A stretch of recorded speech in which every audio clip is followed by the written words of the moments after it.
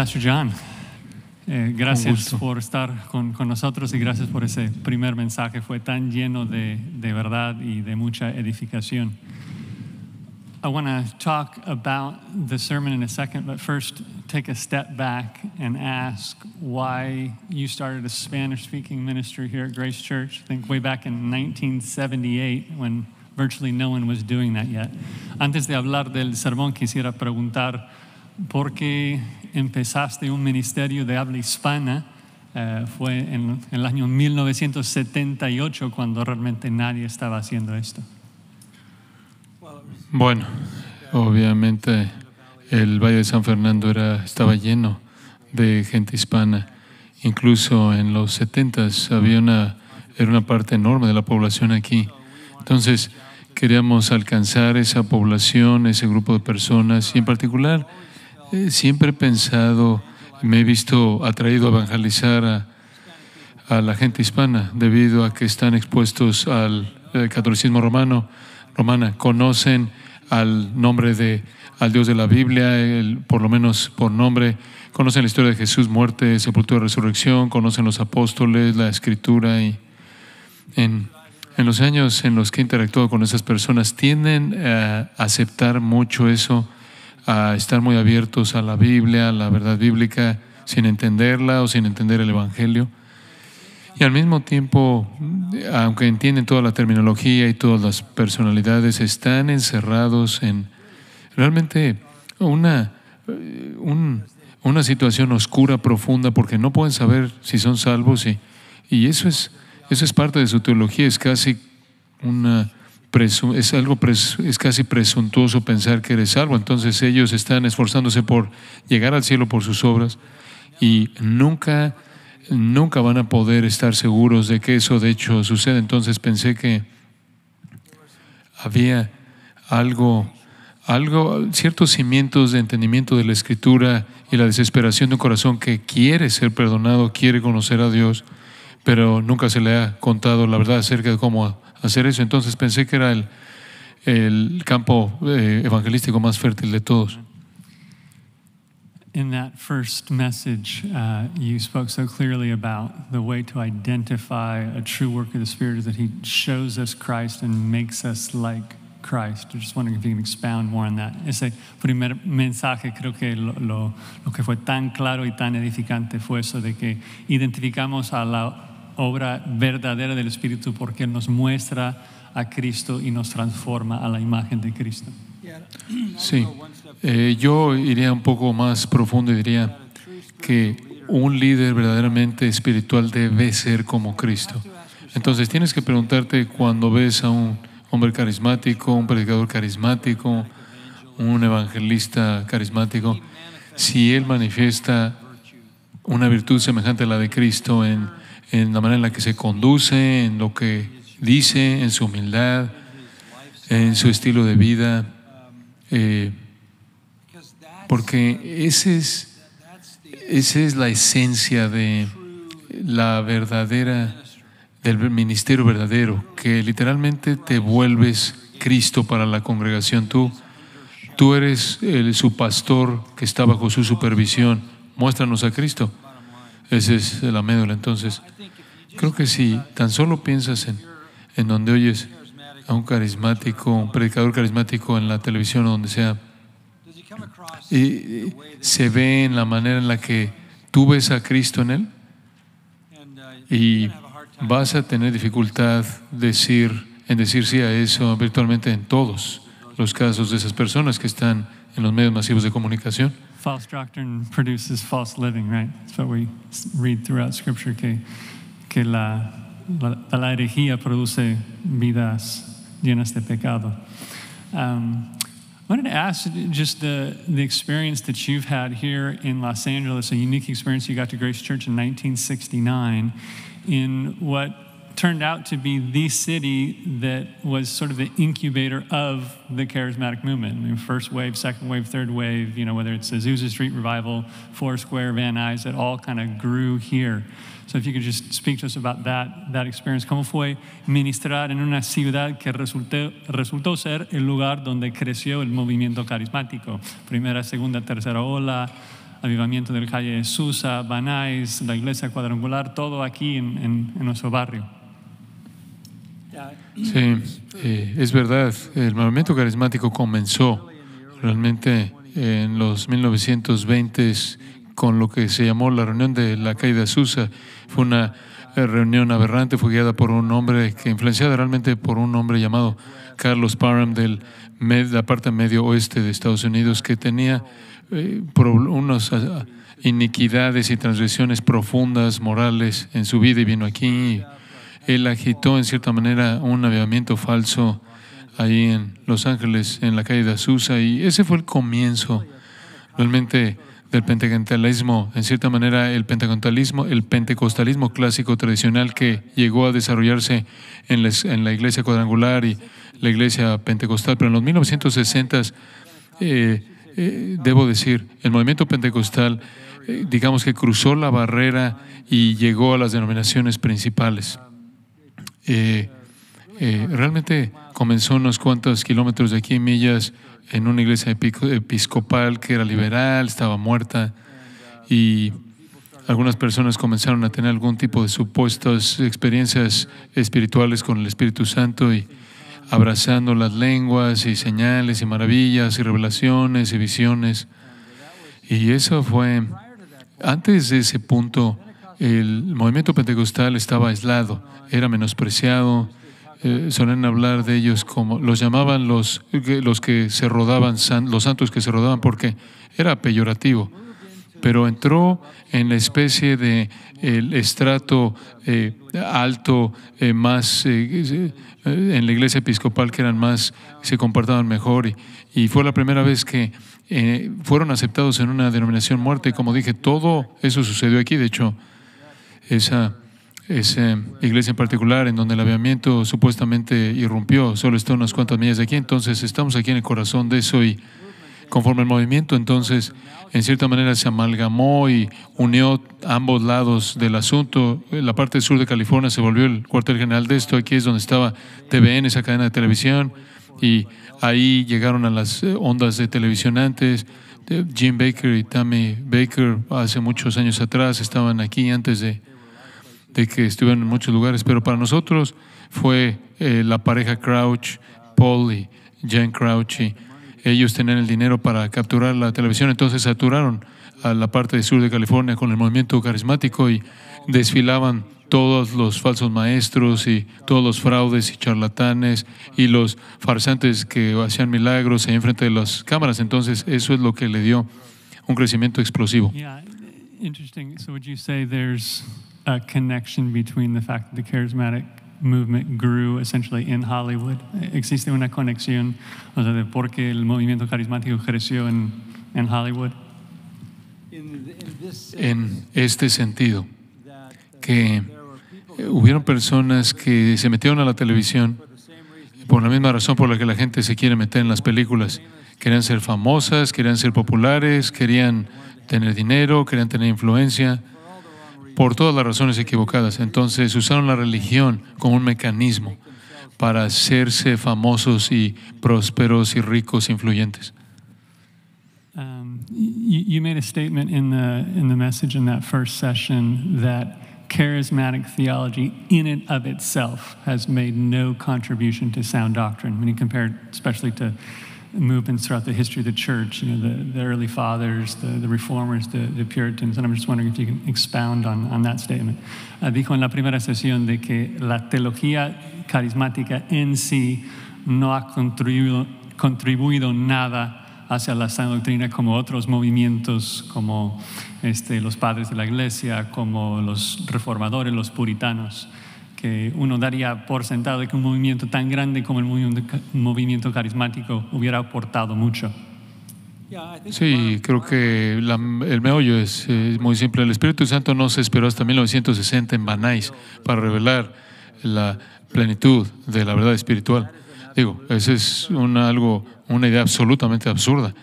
No descubrieron nada, no descubrieron nada verdad. Simplemente torcieron lo que era verdad en algo falso y, y fraudulento.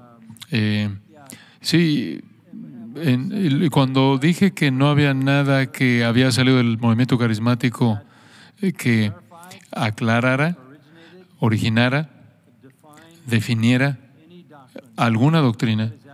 Eso es absolutamente verdad. Eh, lo único que han hecho es distorsionar. No es que no creen algunas de las doctrinas verdaderas, sino que hablando doctrinalmente, la verdad es y siempre ha sido, siempre ha estado afuera de ese movimiento. Y lo único que ese movimiento ha hecho con la verdad siempre es torcerla, confundir a la gente con ella y añadir error a la verdad que fuera la verdad que tuvieran. Pero no, el meollo sería que todo lo que tenemos, que necesitamos, que pertenece a la vida y a la piedad, se encuentra en Cristo por la instrucción, por la instrucción del Espíritu Santo, la obra del Espíritu Santo, guiándonos a la Escritura y para por dos mil años las, las Escrituras han sido insistentemente, y cuando digo consistentemente interpretadas de la misma manera por dos mil años, de pronto llegas a 1960 y supuestamente tenemos que interpretar la Biblia de una manera totalmente diferente. Entonces, realmente fue una especie, eh, eh, este fue, estaba haciendo un lado la doctrina sana, aferrándose a suficiente doctrina y terminología cristiana como para ser engañoso. You also mentioned that uh, you know there's really no other movement that we can see that has become such a haven for false teaching. I wonder if you could comment why you think that's the case. Uh, mencionó en el primer sermón eh, que el movimiento carismático ha sido un refugio, ha refugiado a muchísimos falsos maestros. Bueno, creo que Pedro el apóstol Pablo dijo que están metidos en eso por dinero. Y sé que eso se oye fuerte pero se oyó fuerte cuando Pedro lo escribió. Eh, están metidos ahí por dinero, están buscando poder, influencia y notoriedad que los lleva a algún tipo de medida de satisfacción personal. Y ahora, eh, quiero, quiero aclarar que hay algunos pastores en iglesias pentecostales que son buenos hombres, que son honestos en su corazón, quieren honrar al Señor y no han aceptado todos los excesos del movimiento carismático. Eh, estamos hablando de más del tipo de cosas de medios masivos de comunicación. Hay algunos pastores fieles, a lo largo de los años los hemos visto escuchando nuestro ministerio y saliendo del movimiento carismático. Conocí un hombre aquí esta semana, ayer, que era pentecostal y salió de ese movimiento un buen hombre fiel. Y entonces eh, nos encantaría pensar que si podemos conectarlos, conectarlos a esos hombres con la verdad de la palabra de Dios, verán la, luz y van a levantarse y salir de eso. Y eso es exactamente lo que pasó. Yeah, just wanting to allow you to kind of make that distinction even more clear. So, I was reading some statistics. Uh, currently, 90% of everyone who claims to be charismatic embraces a false gospel, either because they're denying the Trinity, oneness Pentecostals, or because they're teaching health, wealth, you know, prosperity gospel. I think most of us know that we should reject that kind of far out there charismatic theology. But I wanted to ask as well how we can interact more with our continuationist brothers who um, are also rejecting all of that, you know, falsehood but are open to praying and seeking the gifts. Entonces, las estadísticas nos dicen que 90% de los que proclaman ser carismáticos abrazan un evangelio falso, o es el evangelio de la prosperidad, o es que niegan la Trinidad porque son pentecostales de solo Jesús. Eh, y, y, creo que entendemos que debemos rechazar a, a esos falsos. Pero la pregunta tiene que ver con los hermanos que amamos, que son continuistas eh, que creen que debemos orar y buscar todos los dones? Bueno, esa es una pregunta muy importante y, yo creo que la razón por la que somos cesacionistas es puramente porque así es como interpretamos la Biblia. Eh, creemos que hay un creemos que hay un fin en la revelación divina y eh, como leemos en Judas, es la fe una vez dada a los santos. Fue un asunto empacado. De hecho, hay una buena analogía en eso. Eh, hace unas semanas atrás estaba hablando de la creación y eh, presenté el punto de que Dios creó todo en seis días y nunca ha creado nada desde ese entonces, nada. De todo el agua en el universo, en la actualidad es exactamente la misma cantidad de agua que estuvo en el universo desde el primer capítulo de Génesis. Todo lo que existe existió desde ahí. Entonces, Dios cerró su creación y creo que en el mismo sentido, cuando Dios reveló su palabra, hizo lo mismo. Él depositó la palabra con, eh, en, la gente creyente, la palabra apostólica profética de Génesis a Apocalipsis, como la fe una vez dada y por todas a la fe, a, la, a los santos y nunca añadido nada. Creemos que el Señor nos dirige nuestros corazones al impulsar nuestros corazones en cierta, cierta dirección. El Espíritu de Dios nos guía en cierta, en cierta dirección. Pero cuando primero comencé a tratar de evaluar el movimiento carismático hace muchos años atrás, en los setentas, la primera cosa que hice fue hablar del asunto de la idea de que permiten que haya revelación posterior. Esto para mí era lo más serio. Porque si tú dices que hay más revelación de Dios y tú lo estás recibiendo, entonces hay confusión y que no es no se puede resolver porque eres una estás eres una autoridad que está al mismo nivel de la Biblia que hay cerca de las 50 otras personas que recibieron un mensaje de Dios y es muy diferente que haya cerca de ellos. Creo que el Señor sabía que tenía que haber un comienzo y un fin en la revelación y eso es lo que es la canonicidad. Esa es la razón por la que la Iglesia reconoció 66 libros en la Biblia. Eh, me he encontrado, eh, me encontré con un líder carismático que ah, mantenía una pila de toda su una pila de revelación y podía ver las revelaciones y decirte lo que Dios le dijo a ella. Y algunas de esas revelaciones simplemente eran eh, repetían lo que estaba en la Biblia. Pero cada vez que no repetían lo que estaba en la Biblia, esa era una mentira, porque no era una revelación. Entonces entendí que ahí es donde, de donde venía el poder. El poder viene porque la gente piensa que Dios les habla a ellos, que Dios les dice los secretos de Él, que les da visiones y sueños y revelaciones. Y ese es la, el problema más mortal en el que puedo pensar, porque ahora no sabemos dónde está la autoridad me acuerdo cuando leí un escritor carismático que dijo, cuando Tomo sale y dicen, así dice Jehová, sabemos que o es verdad o no lo es. Bueno, eso no es útil. Asumir en primer lugar que Dios le dijo a Tom y a Sally algo que nunca le dijo a nadie más. O pensar que Él podía decirles algo que no tenemos manera de certificar o validar eso. Entonces, eso me metió en eso. Y lo segundo fue esto. Siempre sabía que los carismáticos tenían teología mala. Si no hay nada más, negaban la seguridad del creyente. Si negabas que un creyente que es salvo es permanentemente salvo, entonces crees que la salvación es por obras.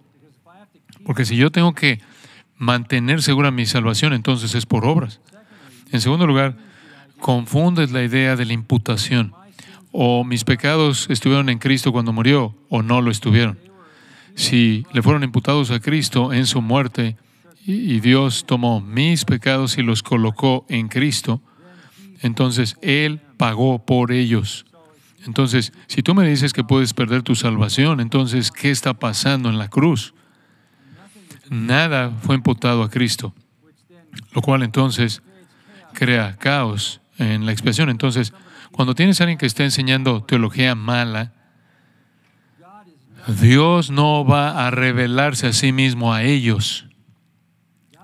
Dios no va Dios no va a dar poder milagroso a un falso maestro.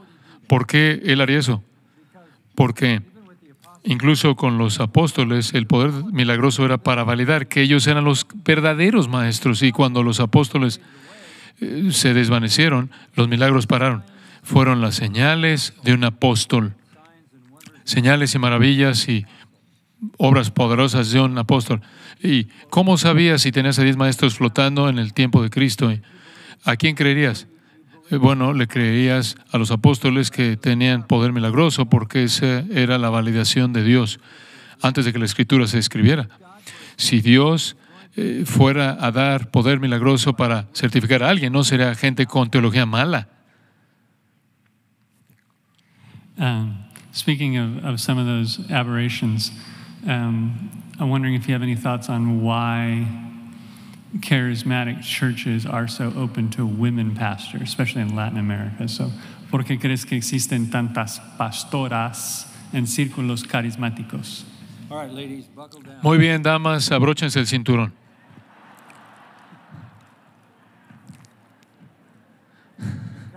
Porque los falsos maestros quieren guiar a mujeres torpes y desviarlas. Eh, mira, regresa al huerto. Satanás sacó a Eva de abajo de la autoridad de Adán, la aisló y la desvió. La raza cayó. Eh, Y yo creo que la Biblia es muy clara en el asunto de que los hombres y las mujeres son iguales en Cristo, son iguales en valor, iguales en valor, en dignidad, igual en honor, en respeto, respeto igual en ser amadas, pero en el diseño de Dios, el orden de Dios, las mujeres deben ser protegidas por la fortaleza y convicción del hombre. Y yo creo que tanto de lo que Satanás hace, lo hace a las mujeres. Y yo creo que parte del desarrollo del movimiento carismático a través de los medios masivos de comunicación fue que los hombres estaban trabajando y las mujeres estaban viendo TVN en la tele. Pero si vas a tener teología mala, entonces las mujeres van a querer meterse en eso. Entonces, si no vamos a seguir la Biblia, entonces ¿cómo detienes que las mujeres prediquen y guíen el movimiento? Eh, la mayoría de los movimientos carismáticos fueron comenzados por mujeres. Eh, Amy Simple, McPherson, Catherine Coleman, mujeres así. La mayoría de las sectas. La mayoría de las sectas. What, uh, what advice would you give to someone who is currently attending a charismatic church because they can't find a solid Bible preaching church in the town that they live, especially maybe someone watching us online? Uh, ¿Qué consejo darías a una persona que asiste a una iglesia carismática porque no encuentra una iglesia sólida en su pueblo? Entonces, eh, la mejor manera de ver eso es ver a las siete iglesias en Apocalipsis 2 y 3. Si estuvieras en esas siete ciudades en Asia Menor, había una iglesia. Cinco de esas siete no eran buenas, ¿verdad? Digo, tienes a la iglesia muerte, Esmirna, tienes Sardis, más bien tienes a la iglesia que escupe de su boca, tienes a Pérgamo de Tiatira, la iglesia que hace concesiones, tienes eh, dos iglesias buenas. eh, Incluso Éfeso tenía, había dejado su primer amor. Entonces, ¿qué es lo que el Señor le dice a los fieles en esas iglesias? Él pronuncia bendición sobre ellos. Él dice, eh, mantén tu ropa limpia, eh, voy a protegerte y voy a hacerte que puedas sobrevivir de manera segura. Entonces, creo que hay lugares y tiempos cuando el Señor entiende que su pueblo está en un lugar malo y no tiene una oportunidad de estar en ningún otro lugar. Si solo hay una iglesia en, en la ciudad en Asia Menor, tenías que ser parte de ella y tenías que mantener tu ropa limpia en medio de todo ese caos. Y el Señor iba a honrar eso. Pero si tienes otra alternativa y hay una iglesia fiel ahí cerca, necesitas hacer de eso, pasarte ahí, pero si eso es lo único que hay, necesitas hacer un testimonio para la verdad en esa situación. change gears uh, a little bit here. Um, why is it essential that the church meets in person? Um, cambiando un poco el tema, ¿por qué es esencial que la iglesia se reúna en persona? Porque no puedes darle un beso a tu televisión.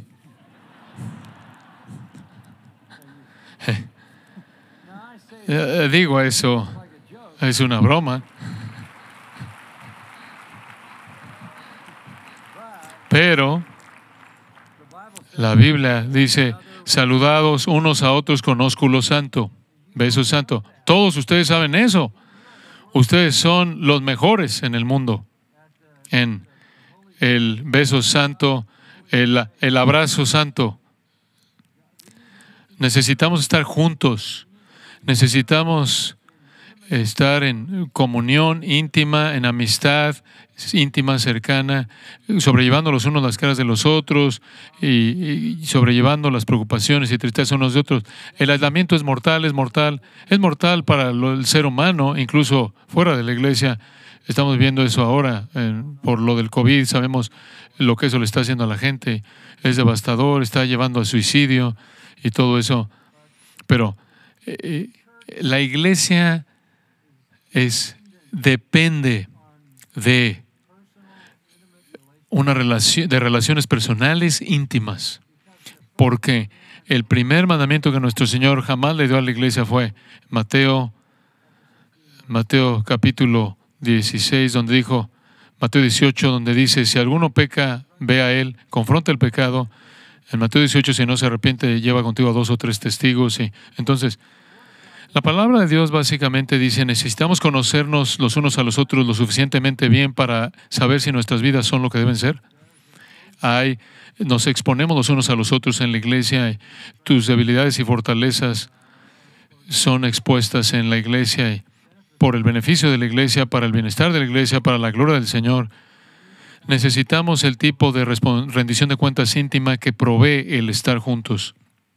Y creo que hay hay una dinámica, hay una, un reconocimiento de la obra de Dios en una comunión viva. Y creo que Pablo presenta eso de manera clara en Corintios. Él está hablando de lenguas y, el don y los dones. Y él dice, al incrédulo, si un incrédulo viene a tu iglesia y tú estás profetizando, predicando y adorando a Dios, el incrédulo va a decir, Dios está en este lugar. Porque todo creyente trae a Cristo a él. Eh, Jesús dijo eso, él dijo, ¿cómo la manera en la que tratas a otro creyente es como tratas a Cristo? Porque él vive en otro, en todos los creyentes y todo creyente trae a Cristo a otro creyente, cualquier otro creyente. Entonces está ahí el poder de Cristo viviendo en la gente, en una congregación viva, que hace que toda la esencia del Evangelio y la iglesia eh, cobrar vida, y eso es absolutamente esencial eh, para, por toda razón. No podemos, no podemos disipular a la gente, no podemos eh, imponerle, imponerle manos a la, a la gente y nutrirlos y sustentarlos eh, espiritualmente, desarrollo espiritual, no podemos ejercer los unos a los otros, todos los unos a los otros del Nuevo Testamento, todos son ejercidos únicamente de una, de, en, una, en, en una relación constante, regular, frecuente. Y creo que la iglesia tiene que ser la comunión que esté en comunión viva, no dejando de congregarse unos con otros, para que puedan estimularse unos a otros al amor y a las buenas obras. So I think probably Spain, Latin America uh, have been uh, sort of even more imposing upon the church with government mandates and, uh, requiring the church to do certain things. Uh, what, what advice would you give to pastors and leaders, elders, uh, when they're confronted with a government that's telling them maybe, maybe they can't teach about homosexuality or maybe they can't meet uh, or any, any sort of mandate like that? Eh, creo que España, Latinoamérica, o sea, los gobiernos están siendo más y más fuertes en atacar a la iglesia, diciéndonos qué es lo que podemos enseñar, cuándo podemos reunirnos, cómo nos enfrentamos con esos mandatos. Bueno, eh, tú sabes qué hacer, sigues el mandato bíblico, tú eres fiel al Señor y a su palabra, y tú haces lo que el Señor te ha mandado hacer. Esto no es nada nuevo. Es solo porque en el mundo moderno el gobierno ha, eh, sí ha sido menos entrometido, menos invasivo y menos probable que, nos, que te persiga hasta ahora, por lo menos. Eh, nos hemos puesto cómodos al vivir en tolerancia. Vivimos con gobiernos tolerantes, eh, mucho más tolerantes de lo que muchos lugares en el mundo, ciertamente lugares musulmanes, mucho más tolerantes que gobiernos en China u otras partes del mundo y mucho más tolerantes que gobiernos en el pasado.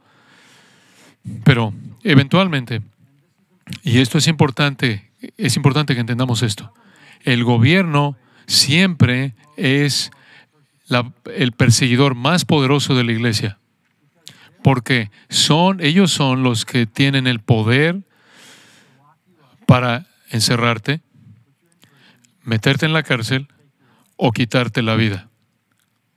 Entonces, al final, eh, la persecución más severa siempre va a venir del gobierno civil, de una, de, un- de una potencia terrenal. Y como dije, hemos vivido varios siglos sin ese tipo de, de invasión, pero hay una inevitabilidad de que va a venir. Y después tenemos que vivir como la iglesia siempre ha vivido.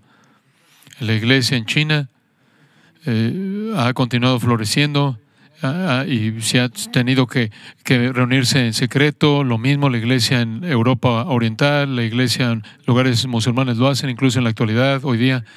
Todo, todo domingo, eh, todo sermón de domingo de este púlpito durante años ha sido directamente eh, transmitido en vivo al Medio Oriente y alcanza a muchas personas musulmanas que están escuchando la palabra de Dios porque tienen que hacerlo en privado.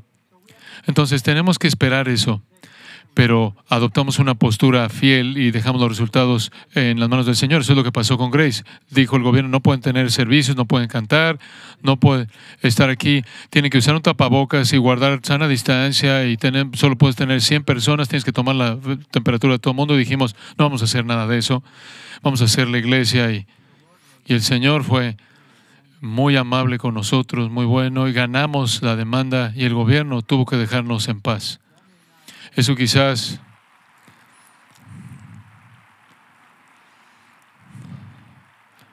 eso quizás no sea el fin de la entromisión del gobierno, porque van a venir tras, detrás de nosotros en el área transgénero y homosexual y ya están amenazando la universidad, el seminario, eh, nuestras escuelas. Acabamos de iniciar dos, dos eh, pre- preescolar, eh, primaria a secundaria, y van a querer cerrar esas porque van a estar desafiando las escuelas, las tendencias que tiene eh, el mundo en la actualidad. Entonces esperamos más de eso, pero eso no cambia nada. Hacemos lo que Dios nos ha llamado a hacer y dejamos los resultados en Él. Amen. Amen. Thank you.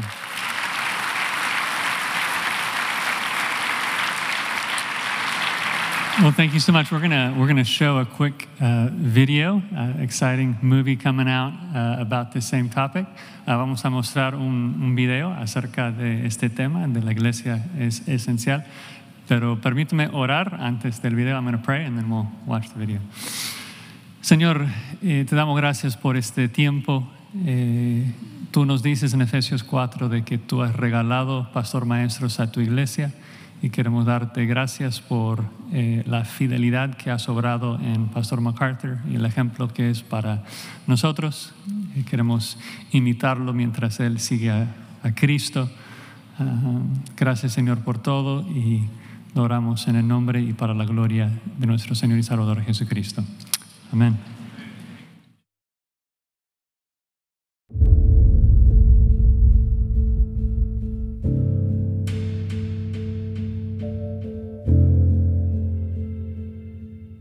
La soberanía de Dios ganamos nuestra demanda contra los gobiernos del condado y del estado. A la luz de esta victoria monumental, hemos estado trabajando en un documental. La Iglesia Esencial rastrea la historia de ataques gubernamentales contra la Iglesia, tanto antiguos como modernos. Conforme enfrentamos esta oposición en la actualidad, esta película nos fortalecerá y alentará a permanecer valientes como el cuerpo de Cristo. Y ahora queremos su apoyo no solo al apoyar este documental maravilloso, sino también esparcir las noticias acerca de su disponibilidad. La iglesia esencial va a ser crítico para el futuro de la iglesia en nuestro país y alrededor del mundo.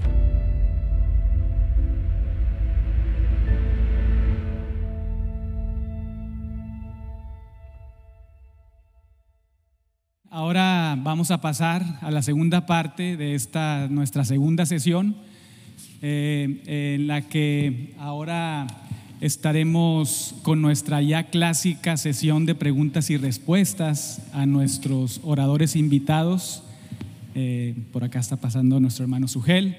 Eh, pero bien, ustedes saben, la dinámica es muy sencilla. Yo hago la parte más fácil, que son las preguntas, y nuestros hermanos contestan las preguntas y nos ayudan a pensar bíblicamente. Así que bien, eh, sin más preámbulo, comencemos con la, con la primera pregunta. ¿El Espíritu Santo es una persona igual que el Padre y el Hijo o existe alguna diferencia? Luis puede seguir hablando, ¿no? Pobres, ¿eh? ¿Está aprendido? ¿Está aprendido? Ya me oyeron demasiado, hermanos. Adelante. La palabra de Dios revela claramente que tenemos un solo Dios, pero tenemos tres personas divinas que subsisten en esa esencia divina. El Padre no es el Hijo, no es el Espíritu Santo. El Hijo no es el Padre, no es el Espíritu Santo. El Espíritu Santo no es el Padre ni es el Hijo. Eh, eso lo vemos, por ejemplo, en el bautismo de Jesús. Dice que el Padre habló desde el cielo, el Hijo se estaba bautizando, el Hijo encarnado, y el Espíritu Santo descendió sobre él en forma de paloma. Entonces, en ese sentido, el Padre, el Hijo y el Espíritu Santo son Dios, no son tres dioses. Tampoco es que hay una sola persona que se manifiesta a veces como Padre, a veces como Hijo y a veces como Espíritu Santo. De hecho, hermanos, tengamos mucho cuidado cuando usamos analogías humanas y de la creación para entender a Dios, porque ninguna analogía terrenal puede mostrarnos realmente quién es Dios. Y a veces oímos personas que dicen, bueno, es como el agua, que a veces es sólida, a veces es líquida, a veces es, eh, ¿cuál es la otra? el gas, gas. Pero eso es una herejía que se combatió en el principio de la iglesia cristiana, que se llamó modalismo, donde se decía que había una sola persona que a veces se manifestaba como Padre, a veces como Hijo, a veces como Espíritu Santo. Pero eso no es la idea que la palabra de Dios nos presenta. El Padre no murió por nosotros en una cruz y tampoco el Espíritu Santo. El que murió fue el Hijo encarnado. Otros dicen, bueno, es como el huevo, la cáscara sola no es el huevo, ni la yema sola es el huevo, ni la clara sola es el huevo, pero de nuevo estamos con otro problema. Son tres personas divinas distintas, o sea, el Espíritu Santo es una persona divina distinta y es tan Dios como el Hijo y como el Padre. Esa es la doctrina bíblica de la Trinidad. Sí, respecto a qué es una persona, ¿verdad? Como Padre e Hijo Espíritu Santo, yo creo que nos ayuda a ver en las Escrituras cómo se describe y posee características de una persona que generalmente se engloban en tres características. Una es eh, cognitiva, es decir, intelecto. Eh, otra es volitiva, tiene voluntad. Y otra es afectiva, sus emociones. Y hay varios pasajes de la Escritura que nos muestran que el Espíritu Santo es una persona y se describe en estos términos que son característicos de una persona, es Dios en uno, tres personas, Padre, Hijo y Espíritu Santo, y tal vez eh, como referencia en la teología sistemática de Dr. MacArthur y Mayhew, hay un apartado ahí que desarrolla con muchos versículos al respecto y si tienes interés, estoy seguro que está a disposición aquí para adquirirla y profundizar en los pasajes bíblicos que expresa claramente esta realidad y muestra al Espíritu como una persona.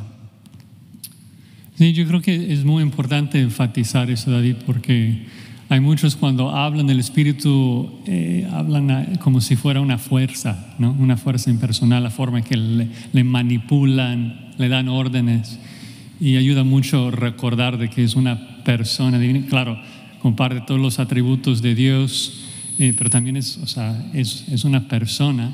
Eh, los dos versículos que me vienen a la mente sería 1 Corintios 12, 13 y Hebreos 2, 4, que hablan de que el Espíritu Santo reparte los dones como Él quiere. Es decir, que Él, ejerce la voluntad divina eh, también como persona.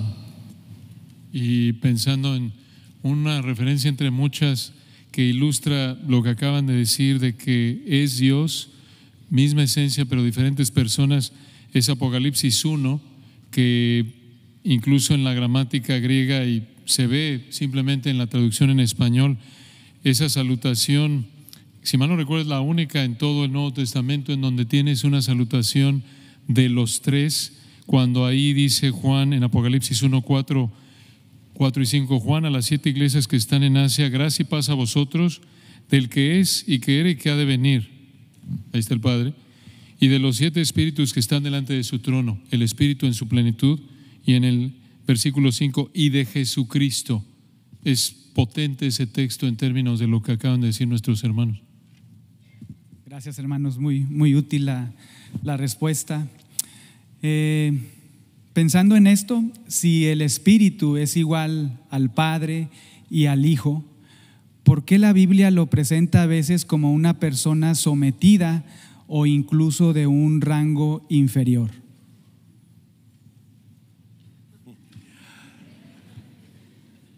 Dios creó el esquema de autoridad y el diablo creó la rebeldía. En la Trinidad hay, hay- hay un esquema de funciones a lo interno de la Trinidad. El Hijo se somete al Padre y no por eso es menos Dios que el Padre. Y el Espíritu Santo es enviado por el Padre y por el Hijo. De hecho, en el himno que cantamos en la primera sesión sobre la Trinidad, me encantó que hablaba de cómo el Hijo es, el Espíritu Santo es enviado por la persona del Padre y por la persona del Hijo. Entonces, dentro de la misma Trinidad hay, ese esquema de autoridad que de paso es el esquema que luego Dios plantea en la sociedad antes de la caída. Hermanas, el hecho de que Dios diga que las mujeres deben someterse a sus esposos no las hace ni menos dignas, ni menos valiosas, ni, ni menos persona que el esposo. Es simplemente un esquema de autoridad. Eh, y lo mismo ocurre en la iglesia. La rebeldía la crea el diablo. Dios crea ese esquema de sumisión. Cristo, dice la Biblia, 1 Corintios 11, es la cabeza de todo varón. El varón es la cabeza de la mujer, pero luego dice que Cristo es la cabeza de los hombres.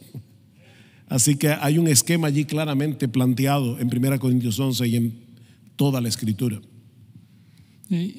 Creo que también es importante enfatizar ahí eh, de que no es de que existen tres voluntades dentro de Dios y que el Hijo está eternamente sometido al Padre. Dios tiene una sola voluntad. Y cuando hablamos de esa sumisión entre el Hijo y, Dios y, y el Espíritu Santo que glorifica al Hijo, estamos hablando de Dios obrando dentro del plan de redención. Eh, los teólogos de años pasados lo llamaban la, economía de la redención. Ah, y aún en ese texto que Sugel menciona, 1 Corintios 11.3, no es de que dice de que el Padre es la cabeza del Hijo, quien es la cabeza de los hombres, sino usa el término mesiánico de que el Padre es la cabeza de Cristo, hablando de su ministerio en la redención. Eh, Y creo que esto es, es importante enfatizar eso, de que por un lado tenemos la Trinidad ontológica en, en cuanto a su ser, Dios es igual, el Espíritu Santo comparte todos los atributos eh, del Padre y, y del Hijo, pero en la Trinidad económica, en, en su función, en la forma en que obra con la humanidad, voluntariamente el Hijo se somete al Padre, el Espíritu al Padre y al Hijo. Un texto que ilustre eso, de nuevo, lo que acaban de explicar nuestros hermanos, entre muchos. Es Isaías 42.1, en el primer cántico del 4 del siervo, recuerdan en Isaías. Eh, obviamente no, como sabemos, la Trinidad no se revela de manera exacta, precisa, como en el Nuevo Testamento, pero ya el Espíritu de Dios establece las bases para que en la revelación del Nuevo Testamento ya digamos que esos huecos son llenos. Pero apuntando al bautismo del Señor, Isaías 42.1, ahí ves a las tres personas. Está hablando el Padre, he aquí mi siervo, apuntando al siervo sufriente, al Mesías, al Hijo. Yo le sostendré, mi escogido, en quien mi alma tiene contentamiento, he puesto sobre él mi espíritu. Entonces, de nuevo, lo que decía nuestro hermano Sugeli, eh, afirmó Josías, misma esencia, diferentes funciones. Sí, yo creo que ese es el énfasis principal, ¿verdad? Eh, rol o función y bajo ese aspecto sometimiento en un momento dado no conlleva que una persona es inferior y de la misma manera tampoco en la Trinidad es así, ¿verdad? Ni, ni el Hijo ni el Espíritu Santo. Y ilustrando dentro del contexto, como también se ha explicado anteriormente, ¿no? otro pasaje es eh, Marcos 14:36, muy conocido, en el que Jesús está orando en Getsemaní y en su humanidad, ¿verdad? Plenamente Dios, plenamente hombre, viviendo esta vida en su humanidad, como nosotros en todo, pero sin pecado, está ahí orando al Padre. Y evidentemente, aunque la voluntad es la voluntad eterna, trina desde el pasado y estaba cumpliendo el plan eterno establecido desde la eternidad pasado por la eh, eh, Trinidad, pues Él en su humanidad ora, Padre, yo sé que tú puedes todas las cosas, ¿no? Si es posible, pase de mí esta copa, pero no se haga mi voluntad, sino la tuya. En ese aspecto no consideramos que el Hijo es menor al Padre. De la misma manera, cuando el Espíritu se somete en su rol o función en algún aspecto, pues tampoco es que muestre que hay una inferioridad y de la misma manera tampoco es así en el aspecto de las relaciones interpersonales, como decía antes el pastor MacArthur, que el hombre y la mujer tengan distintos roles en distintos ámbitos, tanto de la iglesia como del hogar, no hace al hombre superior ni a la mujer inferior en ningún caso y de la misma manera se aplica en la Trinidad, lo cual realmente es nuestro modelo y ejemplo a seguir. Gracias, gracias hermanos. Aquí tengo otra pregunta relacionada con los falsos maestros. Eh, ¿Cómo podemos identificar a uno que es un falso maestro? Creo que hay bastante información en el Nuevo Testamento para eso, desde el Antiguo lo ves, pero está segunda de Timoteo, primera de Timoteo 6, segunda de Timoteo 3, eh, segunda de Pedro 2, Judas. En resumen, eh, viven eh, su, su eh, como dice ahí, creo que Romanos, Filipenses, su gloria y su vergüenza, eh, viven para sus apetitos, como decía el pastor MacArthur, ¿no? para el dinero, para su satisfacción pecaminosa en todo sentido, se ve en su doctrina. En, en resumen, dos áreas, su enseñanza y su falta de virtud. Y a veces medio lo pueden ahí maquillar, pero al final, como no tienen al Espíritu de Dios, no, es cuestión de tiempo para que salga toda la, la, pues la carnalidad que hay porque no hay regeneración y por lo tanto el Espíritu no los controla y no tienen la capacidad de producir realmente eh, virtud genuina. Pueden ser tipo fariseos que por fuera se ven bien y por dentro están llenos de podredumbre, pero al final donde no van a vivir el sermón del monte, ¿no? Donde de corazón, lo que más anhelan, lo que más disfrutan, sus motivos, la dirección de su vida no es la gloria de Dios y el servir a la iglesia evangelizar a los perdidos.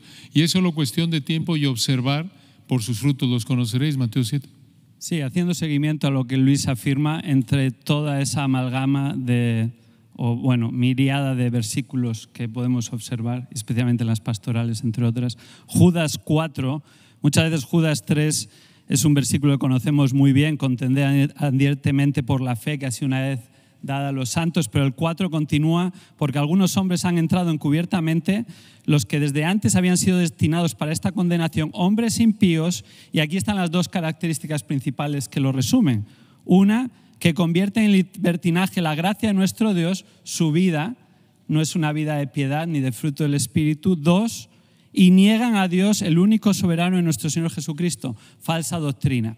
Entonces esos dos ámbitos siempre están en un falso maestro, falsa doctrina y una vida que no es de piedad, pero la esperanza es que finalmente van a ser revelados. Muchas veces a lo largo de esta vida sale a la luz, pero aún si no es en esta vida, a Dios no le pueden engañar y confiamos que finalmente Él también va a proteger a su iglesia verdadera. Muy, muy bien dicho. Tratando de conectarlo un poquito también con, con el tema de los carismáticos. Pienso en 1 Juan 2, 27. El contexto en el 26 dice, os he escrito esto sobre los que os engañan. O sea, estamos hablando de falsos maestros. Y dice, pero la unción que vosotros recibisteis de Él permanece en vosotros y no tenéis necesidad de que nadie os enseñe, así como la unción misma os enseña todas las cosas. En, griego es explícito, no, no tiene necesidad de que alguien en particular os enseñe. Y creo que enfatiza otro aspecto del falso maestro que mencionó también Pastor MacArthur, de que enseñan de que la gente los necesita a ellos, porque ellos tienen una comunicación privada con Dios, tienen sus profecías, tienen sus sueños y ustedes me necesitan. No, no, no exhortan a la gente a probar lo que están diciendo con la palabra. O sea, un verdadero maestro está constantemente diciendo, véanlo, ¿no? sean como, como los verianos y escudriña lo que dice. El falso maestro dice, créeme, ¿por qué? Por la visión que, que tuve, por mi profecía. Solo quería añadir, y gracias, eh, bueno, a los tres, pero Luis, gracias por haber re- remarcado ese- esas dos características principales, pero es el hecho de que la iglesia, los miembros de la iglesia tienen una responsabilidad. A veces hay un temor religioso, supersticioso incluso, que no permite que los miembros de la iglesia ejerzan su discernimiento. Y ver a un, ven a un hombre predicar cosas que no están en la Biblia, ven a un hombre con un carácter que es completamente contrario al de 1 Timoteo 3 y Tito 1, que es el carácter que debe tener un siervo del Señor, un pastor, pero tienen temor de juzgar, tienen temor de evaluar el ministerio de ese hombre. Sin embargo, en Romanos 16, Pablo dice, y os ruego, hermanos, no está hablando a los pastores, sino a los miembros de la iglesia, que vigiléis a los que causan disensiones y tropiezos contra las enseñanzas que vosotros aprendisteis. Ahí está el primer punto que mencionó Luis, la enseñanza y que os apartéis de ellos. Y luego dice, porque los tales son esclavos, no de Cristo nuestro Señor, sino de sus propios apetitos. Y por medio de palabras suaves y lisonjeras engañan los corazones de los ingenuos. Hermanos, no podemos ser ingenuos. Si una persona está hablando cosas que no están en las escrituras, porque supuestamente tiene una conexión directa con el cielo, como decía Josías, y su carácter es evidentemente contrario al carácter de la piedad. Ese hombre es un falso maestro. Y no importa que esa persona sea capaz de hacer milagros portentosos. Porque Cristo dice, supuestos milagros, porque Cristo dice en Mateo capítulo 7, versículo 1, no todo el que me dice Señor, Señor entrará en el reino de los cielos, sino el que hace la voluntad de mi Padre que está en los cielos. Muchos me dirán en aquel día, Señor, Señor, en tu nombre no profetizamos, en tu nombre no hicimos muchos milagros, en tu nombre no echamos fuera demonios, y entonces les declararé, yo nunca os conocí, apartaos de mí, hacedores de maldad. Esas personas nunca fueron de Cristo, ni cuando estaban supuestamente profetizando, ni echando fuera demonios, ni haciendo milagros eran hacedores de maldad y eran falsos maestros. Así que hermanos, recuerden lo que decía Chesterton, un escritor inglés, cuando vamos a la iglesia debemos quitarnos el sombrero, pero no la cabeza. Tenemos que ejercer el discernimiento. Gracias, hermanos. Ya que tenemos un poquito de claridad respecto a cómo identificar un falso maestro, quizá esta pregunta es eh, un poquito difícil de contestar porque depende de cada situación en particular. Pero, ¿qué hacer si sospecho que en la iglesia eh, alguno de los ancianos, líderes o incluso el pastor principal es un falso maestro?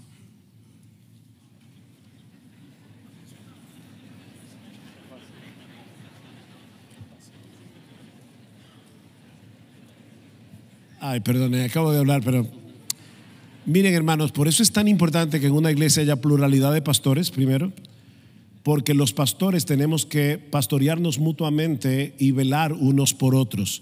E- En Hechos capítulo 20, versículo 28, Pablo dice a los ancianos en Éfeso, mirad por vosotros y por todo el rebaño en que el Espíritu Santo os ha puesto por obispos para apacentar a la iglesia del Señor, la cual él ganó con su propia sangre. Pero luego, en los versículos 29 a- abajo dice, porque entrarán en medio de vosotros lobos rapaces que no perdonarán al rebaño, y de entre vosotros mismos se levantarán hombres perversos. Por lo tanto, los pastores tenemos que cuidarnos a nosotros mismos, primero, dice Pablo, Y los ancianos de la iglesia debemos también cuidarnos unos a otros, porque no solo somos pastores, también somos ovejas.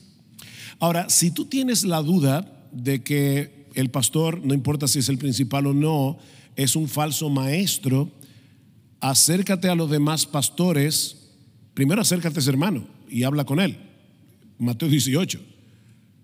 Pero tienes que tener una base concreta para hacer una acusación de ese tipo, porque no es simplemente que no te gusta como enseña o algo que no tenga que ver con doctrina o que no tenga que ver con el carácter.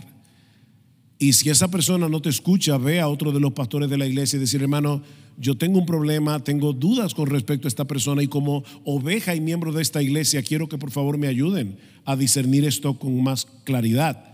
Pero no, no te quedes pasivo, debes hacer algo.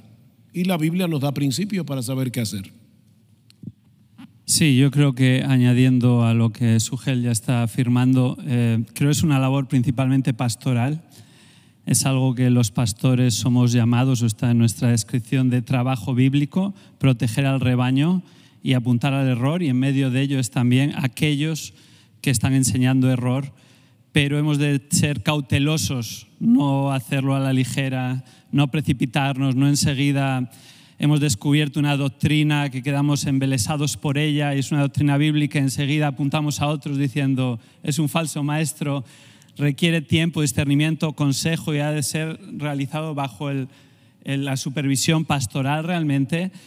Y ahí eh, cada uno de nosotros, ¿verdad? En el espíritu de Gálatas 6.1, hemos de examinarnos a nosotros mismos y como pastores cuidarnos, ¿no? Como dice 1 Timoteo 4:16, ten cuidado de ti mismo y de la doctrina. Ahí están de nuevo los dos aspectos básicos, la doctrina y la vida personal. Y bueno, es un llamado increíble que el Señor ha hecho y oramos que el Señor nos sostenga y nos siga usando para su gloria. Y, y, y entristece ver a veces cuando hay otras personas que, que no están cumpliendo ese llamado y hemos de, de de tener compasión también, buscando eh, el bien de los hermanos y el bien de esa persona, pero a la vez seriamente, pues apuntando porque la, la iglesia de Cristo está en juego y el nombre del Señor y su gloria de la misma manera. Sí, o sea, yo creo que amén a todo lo que dijeron, o sea, con paciencia, orando. Eh, pero lo interesante es de que yo creo que en particular cuando se trata de un pastor, cuando vas y le preguntas eh, de un tema como este, él va a revelar rápidamente qué tipo de pastor es, si es un pastor verdadero o un pastor falso.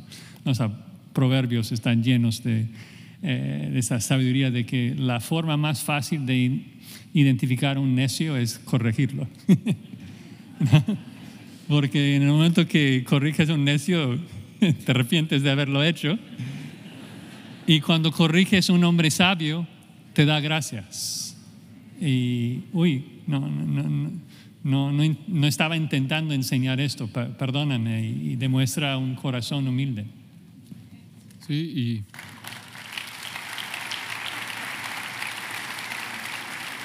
eh, creo que eh, tres respuestas muy sabias y eh, añadiendo a eso y totalmente de acuerdo, eh, decía David, hay que ser pacientes, observar. Eh, nos dice 1 Timoteo 5:25 que las obras que no son buenas no pueden permanecer ocultas. Eh, y finalmente, y enfatizando lo que dijo Sugel, subrayo, porque dice 1 Timoteo 5:19, contra un anciano no admitas acusación, sino con dos o tres testigos, y luego habla de, en esencia lo que dijo Sugel, que el proceso de disciplina es el mismo, no hay un tipo de fuero pastoral, no están por encima de la palabra. Eh, si estás viendo un pecado, un pecado real, como decía Sugel, y lo ves y con paciencia decía David, y te acercas a él, como decía José, y va, vas a ver cómo responde, y ya de ahí va a ser o de bajada, o si el Señor quiere va a cambiar, pero, pero es cuestión ahí de tiempo y de para no intimidarnos, tratar a todos como dice la Biblia y Mateo 18 manteniendo en mente esto. ¿no? Los pastores no tenemos inmunidad diplomática. Eh, muchas gracias, hermanos. Eh, siguiendo con este tipo de preguntas candentes. ¿Es Todas son candentes. ¿Es posible que existan cristianos verdaderos en congregaciones donde se predica el Evangelio de la prosperidad? Sí, en la misma manera que existen no cristianos que asisten a nuestras iglesias. Eh, porque, eh, o sea, porque uno puede asistir a una iglesia sin creer lo que esa iglesia enseña, pero solamente así. ¿no? No, no es posible que alguien asista a una iglesia que enseña un evangelio falso de la prosperidad y que sea salvo por ese falso evangelio. Tendría que ser salvo a pesar de lo que está enseñando. Pero vemos a, la- a la- a lo largo de la historia que esto pasa. O sea, este, esta palabra de Dios es poderosa.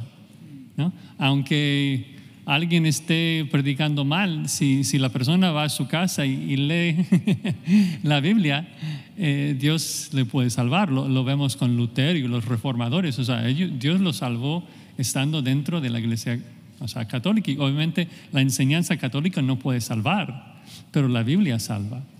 Y es, es interesante porque nosotros acá, o sea, obviamente es una, una iglesia grande, eh, y entonces, o sea, todos los meses hay gente llegando, visitando y queriendo hacerse miembros.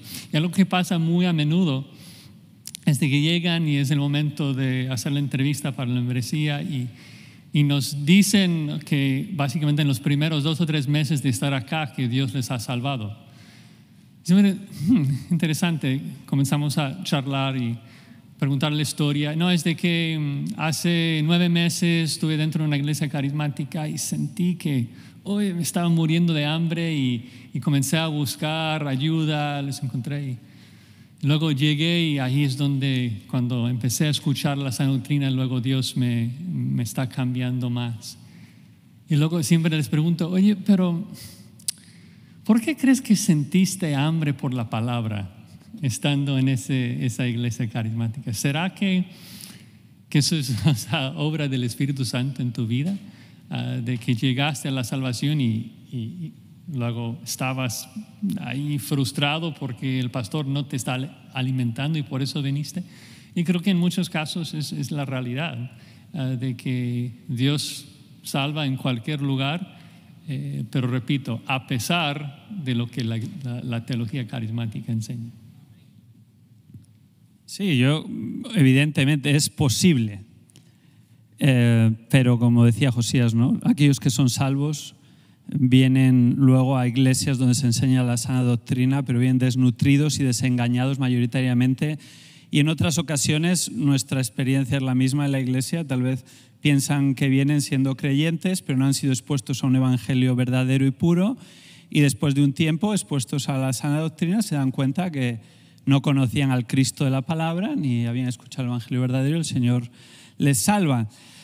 Pero esto yo creo ha de darnos eh, compasión ¿no? por tantas personas que están eh, engañadas, que piensan que están en un contexto de una iglesia bíblica o cristiana y no es así, independientemente de su apellido, porque esto pasa en el contexto de la Evangelio de la Prosperidad, pero en muchas otras iglesias que a lo mejor históricamente han, han enseñado el Evangelio verdadero, pero ahora es solo una afirmación en un papel y no desde los púlpitos ni desde el ministerio de la palabra se está enseñando a Cristo y solo a este crucificado, ¿verdad? La salvación es por gracia, por medio de la fe en Cristo Jesús, a todo aquel que se arrepiente y cree en Él. Y este es un don de Dios, no hay nada en nosotros. En cualquier lugar que no se predique este Evangelio, no puede haber salvación independientemente de cómo se llame esa iglesia.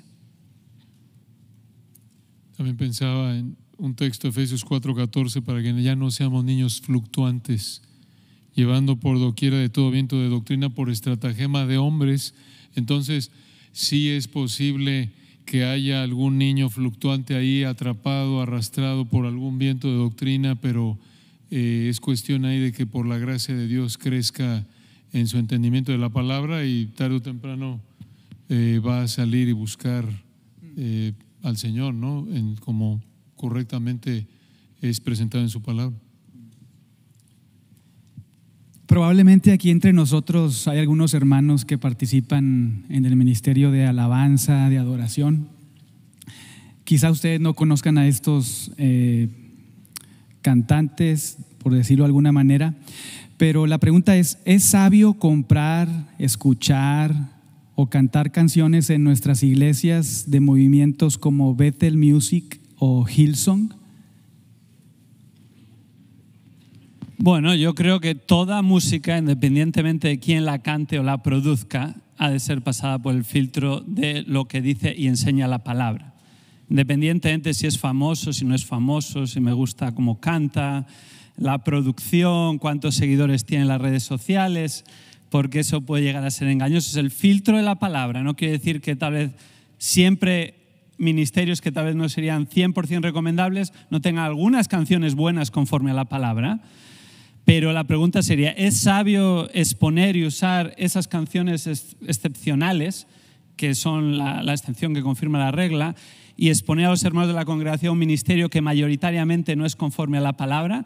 Yo creo que tenemos que tener cuidado y ahí es de nuevo el ministerio pastoral de enseñar al respecto y, y hemos de entender los pastores que aunque no cantemos, no dirigemos la alabanza en el sentido musical, los pastores son los líderes de alabanza en el sentido de que tienen que supervisar lo que se canta y tienen que asegurarse que es conforme a la escritura. Entonces, independientemente del ministerio, ese tiene que ser el filtro y tenemos que crecer en discernimiento y tener cuidado de que por medio de la música no nos entre falsa doctrina, porque además muchas veces lo que al final muchos recuerdan, ¿verdad? Porque es pegadizo y queda en nuestra mente, entonces aún más peligroso. Tal vez aquí el, el, problema, como dice David, es un asunto de sabiduría por la asociación, porque hay ministerios como los que se mencionaron en esa pregunta que tienen algunas, algunos himnos excepcionales, pero el hecho de tú poner, por ejemplo, en, nuestra iglesia que se pone, ¿verdad? El himno, quién lo compuso, de dónde viene, porque es, es correcto hacerlo. Estamos nosotros animando a nuestra iglesia a que siga consumiendo lo que esos ministerios producen, pero la principal evaluación siempre debe ser la palabra de Dios. Y mientras David hablaba, vino a mi mente el texto de Colosenses 3:16. Dice que la palabra de Cristo habite en abundancia en vosotros con toda sabiduría, enseñándoos y amonestándoos unos a otros con salmos, con himnos y cánticos espirituales. Así que el propósito de los himnos que cantamos en la iglesia es traer el Evangelio en música, traer el Evangelio cantado. Nosotros cantamos el Evangelio, predicamos el Evangelio, oramos el Evangelio. El Evangelio es el centro de todo. Y por lo tanto, si un himno, por más hermoso que sea y por más que yo sienta que eleva mi alma, si no está lleno de la palabra de Cristo, entonces no vale la pena cantarlo. Es, es, lo primero. Pero lo segundo, como decía, es el asunto de la asociación. Y es un, hay algo aquí que tenemos que tener sabiduría y prudencia los pastores de saber qué queremos poner delante de los hermanos para que ellos consuman eso. Yo tal vez hablaría un poco más fuerte. O sea, a los falsos maestros hay que taparlos la boca, o sea, no escucharlos. Entonces, que, bueno. Eh, o sea, es, es, serio, ¿no? O sea, la falsa enseñanza es gangrena, eh, daña. Y, si alguien me diga, o sea, mira, está bien que yo escucho este mensaje de ese falso maestro porque me parece que esos 10 minutos son buenos. O sea, si es un falso maestro, no escuchamos nada, aunque 10 minutos sean buenos. Eh, queremos que nuestros hogares sean hogares que exaltan a Cristo, que la escritura sienta en casa, en nuestra casa, en nuestro corazón. Eh, y yo creo que hay, hay música cristiana abundante eh, para, para, escuchar. Eh, es mejor escuchar buenos himnos, buenos cantos, en vez de invitar a falsos maestros a llenar nuestras mentes con algunas buenas letras. Pensándolo. Y pensándolo desde otro ángulo, en la línea que marcaba David de sabiduría, también creo que hay que considerar a hermanos que vienen de ese trasfondo y que son parte de la congregación en la que estamos. Y si tú les pones ciertas canciones, digamos, llámese de X o lo que decía Sugel de asociación, ¿no? Que si es esa, eh, ese grupo y ellos, el Señor los rescató de ahí, si tú empiezas a usar esas canciones sabiendo tú de dónde vienen, es probable que les, les, les contribuyas a que tropiecen. Entonces yo lo vería también desde el ángulo, como decía David, de sabiduría también de considerar al hermano débil, ¿no? Eh, una aplicación ahí de 1 Corintios 8, ¿no? Y 10, y, eh, 8, 9, 10 ahí de, del que salió de la idolatría y el hermano fuerte que no le importa y come la carne, le sale más barata aunque se la dedicaron a un ídolo. Y el otro dice, no, no, pero se aterra porque como no concibe. Entonces, creo que eso llega a pasar y, y puede incluso, otra vez, este es otro tema, pero creo que puede brincar ahí el área de la libertad cristiana, de gustos, preferencias, opiniones, que llega no por nada a dividir iglesias, el área de preferencias en el área de la música, porque algunos eh, no, no pueden, su conciencia no les permite eh, cantar a lo que saben de dónde salió. Y otros dicen, pues no importa, lo que importa es que estás centrado en el Señor, sí, pero al hermano no puede separarlo de que salió de Hilson o de X porque el hermano estaba ahí revolcándose en Hilson.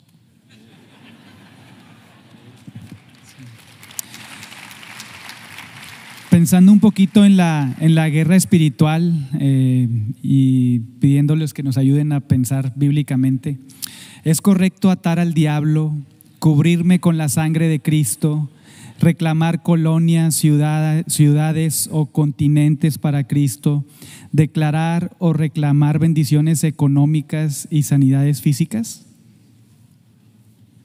No.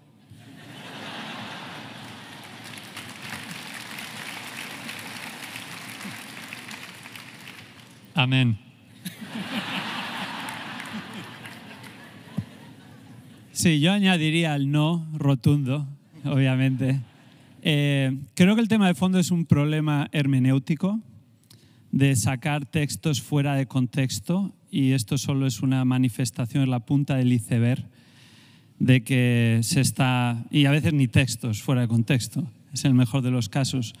Entonces la importancia de nuevo de ir a la palabra, pero examinar la palabra, entender qué dice el texto, cuál es la intención del autor en el contexto.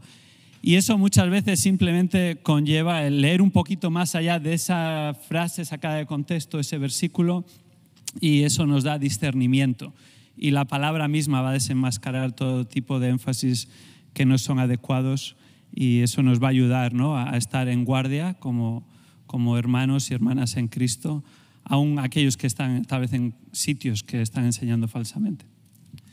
Y creo que vemos una, una tendencia en ciertos círculos carismáticos donde dan, atribuyen un, poder realmente divino a Satanás y a los demonios.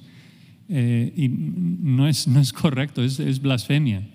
O sea, el hecho de pensar de que cada iglesia por todo el mundo tiene que atar a Satanás en, en sus servicios atribuye omnipresencia a Satanás. No, Satanás no es omnipresente, no, no, está aquí. Eh, entonces, eh, o sea, esto es atribuir un atributo divino a Satanás. Esto es eh, una blasfemia tremenda. La gente piensa que Satanás puede como implantar ideas, pecado en su mente. Y, o sea, está realmente dando a, a Satanás un poder que no, no tiene. Eh, tratan a Satanás como si él fuese el soberano en este mundo y no lo es. Hay un solo soberano, es Dios. Eh, Lutero, Lutero dijo,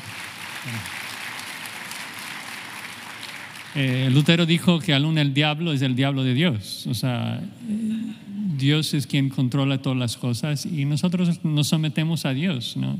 no tenemos que estar atando al diablo, tenemos que resistir al diablo y huirá de nosotros. Tenemos que obedecer los mandatos bíblicos de derrumbar sus argumentos, llevar cautivo a todo pensamiento a, a Cristo. eh, y eso, todo. No iba solo a ilustrar que, eh, en primer lugar, y esto creo que lo va a tocar Josías o uno de los eh, talleres, el por qué no creemos en la actualidad en los, en los dones de milagros, uno de los cuales era discernimiento de espíritus, la capacidad de poder ver a alguien como Pablo en Hechos y decir, este está endemoniada, este solo está enojado, ¿no? Digamos. Sí, una, una distinción importante, ¿no?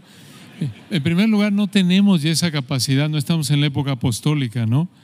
En segundo lugar, ves Daniel 10, eh, creo que es un muy buen ejemplo de que, además de que no existe ejemplo alguno de esa práctica de demonios territoriales y demás, probablemente parte del error está en Daniel 10, en donde recuerdan ahí, Daniel está orando, lleva tres semanas orando, ayunando, esperando respuesta, sale la respuesta, pero él, él no tiene ni idea.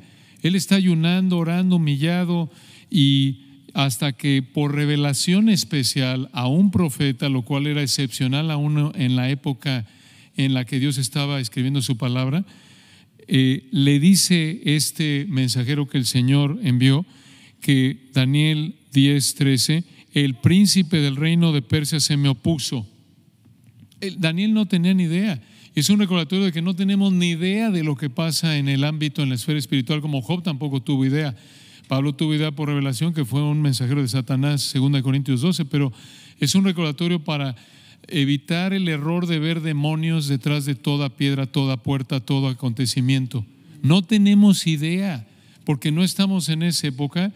Incluso eh, voy al punto del área de cuando estoy luchando con cierto pecado, pensamientos, la Biblia no nos da un indicador claro que diga, mira, si te duele la cabeza del lado derecho es, es, que ese pensamiento es, es tuyo, del lado izquierdo es un demonio. No, no nos dice. Y gracias a Dios por eso, ¿no? Si no estaremos, este es demonio, soy yo, demonio soy yo. Y, y no, no lo digo de mofa o de menosprecio, ¿no? Porque muchos de nosotros hemos creído así y se nos instruye.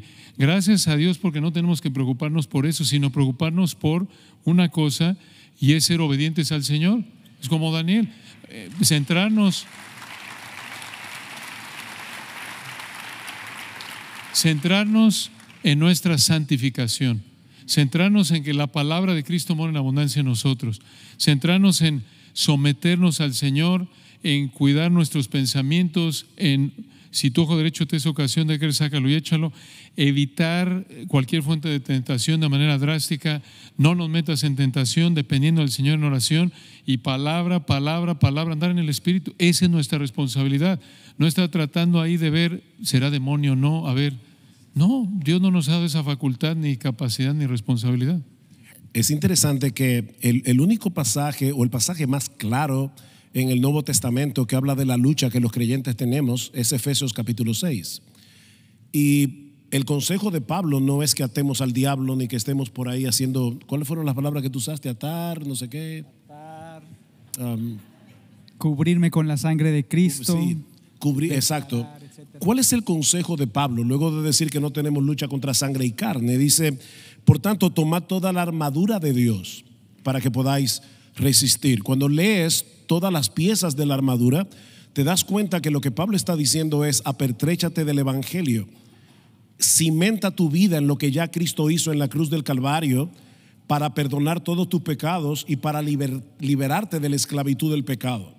El pecado todavía mora en nosotros, pero ya no somos esclavos del pecado. Nuestro rey se llama Jesús y por lo tanto debemos afianzarnos en el Evangelio, en la obra que ya Cristo hizo a, nuestro favor. Entonces, en vez de estar atando y cubriéndote con la sangre de Jesús y todo lo demás, apertréchate del Evangelio. Cubre tu mente con el Evangelio. Usa el escudo de la fe. Usa las, las promesas de Dios para no ser engañado por las tentaciones eh, y sutilezas del pecado. Y si yo no puedo, a veces, es, es, no que no puedo, sino que a veces es, eh, es extenuante luchar con mis propios pecados mucho menos voy a estar atando todos los demonios que hay en República Dominicana. Yo, ya tengo suficiente con pelear mis propias batallas. Entonces, empapa tu mente de la palabra de Dios, afiánzate en las promesas de Dios y en lo que ya Cristo hizo por ti en la cruz del Calvario y vas a poder pelear bien esta batalla con toda la armadura. Se nos está acabando el tiempo.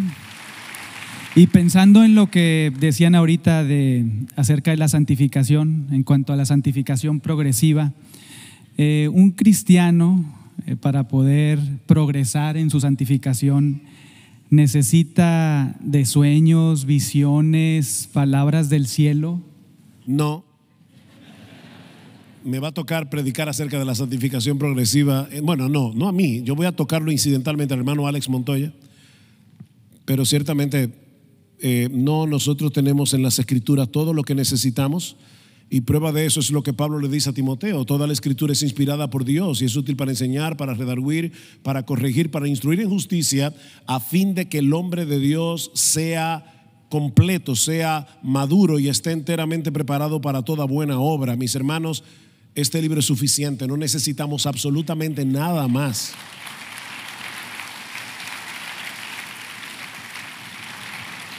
Y pensando eh, en lo que dijo Pastor MacArthur, que el ministerio del Espíritu Santo es mostrarnos a Cristo y transformarnos a su imagen.